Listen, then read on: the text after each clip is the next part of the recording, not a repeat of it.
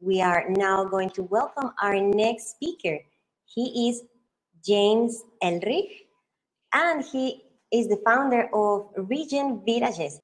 James is going to talk about self-sustaining communities during pandemics. So I'm James Ehrlich. I'm founder of Regen Villages, which is a Stanford University spinoff company.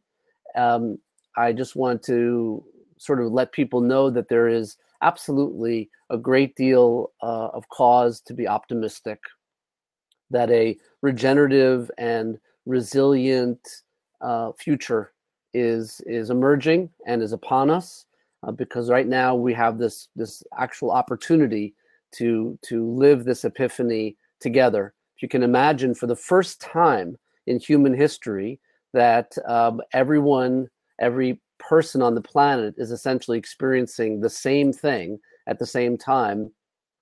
Uh, that's an opportunity for us to to look at solutions. So I'm an entrepreneur in residence at Stanford University School of Medicine in the Stanford University Flourishing Project. I'm a senior fellow at NASA Ames Research Center, a faculty member at Singularity University, and under the Obama administration was appointed to a White House uh, State Department Joint Task Force on regenerative infrastructure. What I'd like to do is is talk about um, this idea of living in uh, regenerative uh, resiliency with hyper local, what we call critical life support systems. This is based on uh, proven research in organic and biodynamic um, family farming and permaculture. And this idea that um, essentially we are improving our immune systems by having access and agency uh, with with these natural resources uh, at our doorstep. And and my research from was 15 years uh, catalogs this journey of eco villages, intentional communities, uh, co-housing, collaboratives, but mostly around uh, the idea of of farm to table experiences. When I came to Stanford in 2012, uh, because I also have a software background, a technology background in in um, video games and special effects for motion pictures and and other kinds of technology, uh, I was really interested in this this this kind of marriage and idea of nature and software and what's possible for us to create the circumstances to improve thriving uh, mechanisms for how we live on the planet. So I was deeply inspired by the work of um, of uh, Dr. Suzanne Simard from the University of British Columbia, who had termed this wonderful idea of something called the Wood Wide Web, where she had discovered uh, in the Pacific Northwest that these grouping of trees were actually communicating with each other uh, in a collaborative economy, a long term ledger of have need uh, network. Um, and that she proved basically that these nutrients, minerals, carbon, sugar, uh, water, even was being shared and conveyed under the forest floor in this beautiful symbiotic network and um, and that's this, this wonderful idea of of these patterns in nature 30% of our dna is mycorrhizal it's fungal. Um, it's the oldest living organism on earth. And if you look at these patterns in nature going all the way up to uh, the cosmological scale they discovered a couple years ago that whole galaxies are actually interconnected through these thin uh, electromagnetic dark matter fibers. And the truth that behind all of that is that it's a mesh network. It's a distributed uh, intelligence at the point of sensing. And so it's not a single brain processing and then sending information for for systems to to uh, deal with those that information or actuate on that information. It's actually being able to at the point of sensing make decisions and act on it.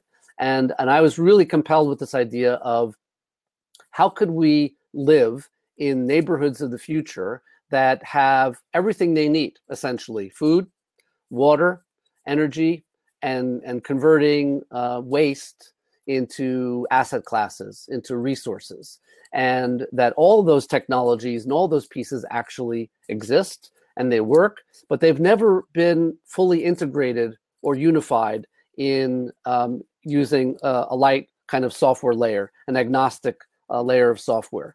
And, and the key thing we're really focusing on is, is this idea of safe, healthy, self-reliant communities. So it's not really kind of a political discussion about um, you know, libertarianism or socialism or communism or any of the isms. It's really about safety.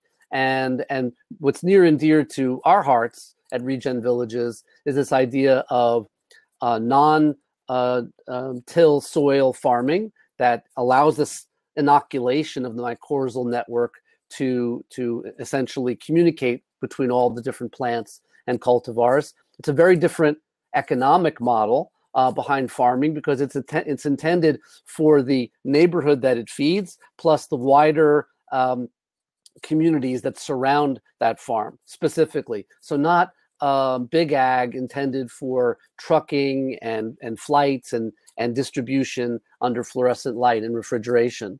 Um, and we would argue that's more bioavailable uh, nutrition, right?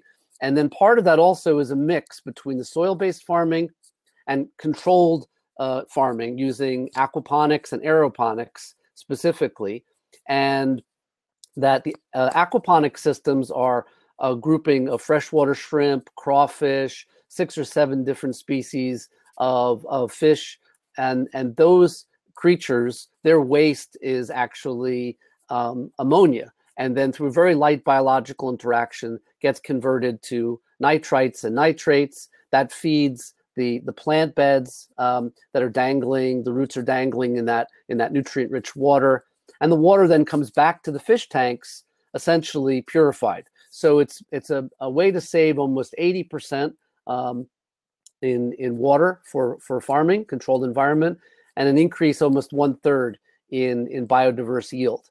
And then if you couple that, the soil-based farming and the controlled farming with what people can grow right next to their doorsteps, you start to get a picture of overproduction of healthy, delicious, life affirming ingredients. That's all about, again, you know, safety.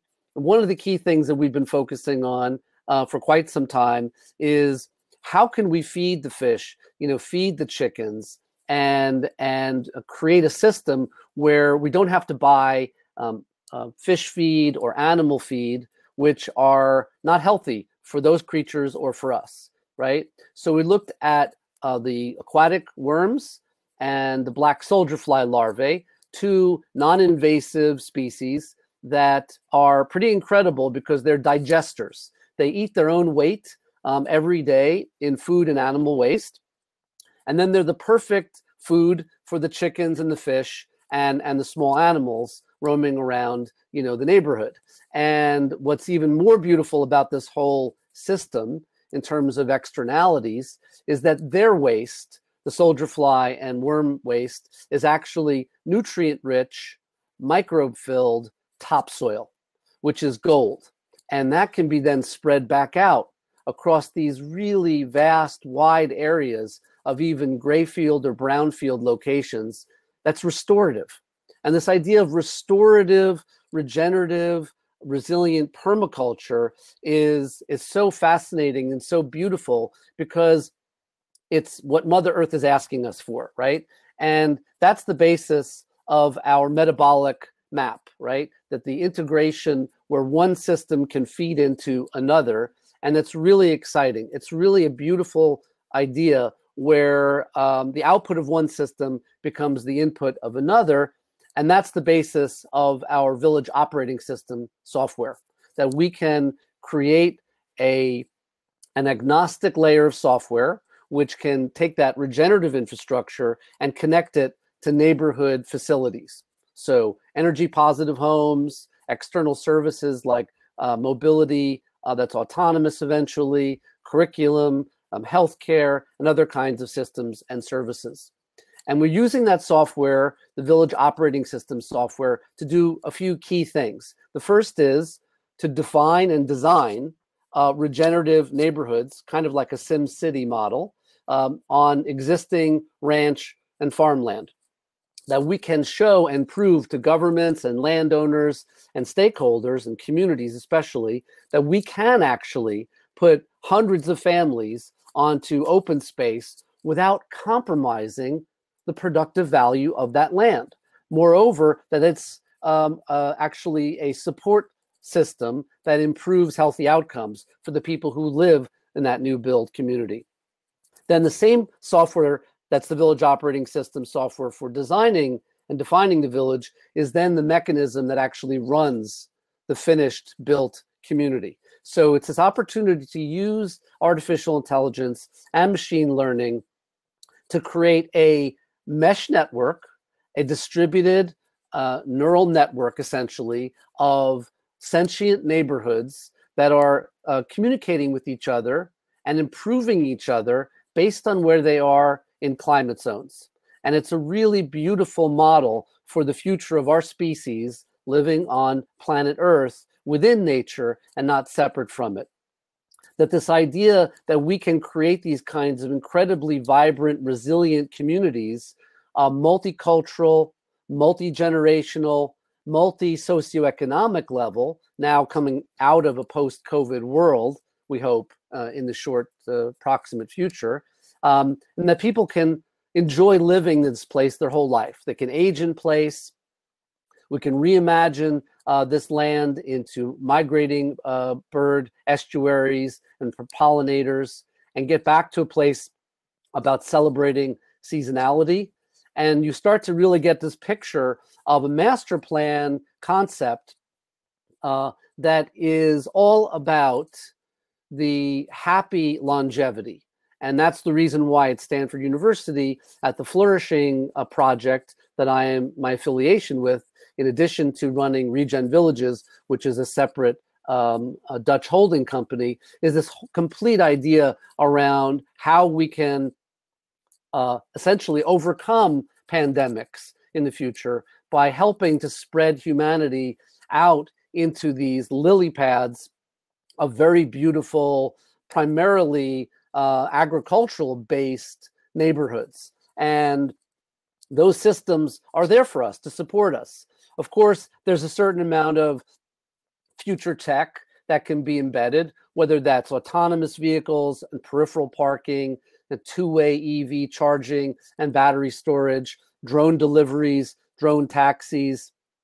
And uh, really, what's most important to us is how can we put social housing in a in a pretty good percentage, um, over 35, 40 percent or even more into the mix, um, and create these beautiful kinds of low-rise apartment, let's say, which on each floor you have co-living space. So shared living room, shared kitchens, uh, uh, rooftop garden access, atrium access, and of course, even if you're in a social unit, but you have access to the full community. We've looked, of course, at this idea of the tiny house movement, which is also for extreme affordability. the the row houses of threes and fours uh, for you know essentially um, you know townhome and and condominium living. Uh, the semi-detached, so full services on the ground floor for seniors and those with with disabilities, and that even the villas uh, aren't just for high rollers. They're also for a micro mortgage program um, and rental for groups of people who want to live together, but but in bigger spaces.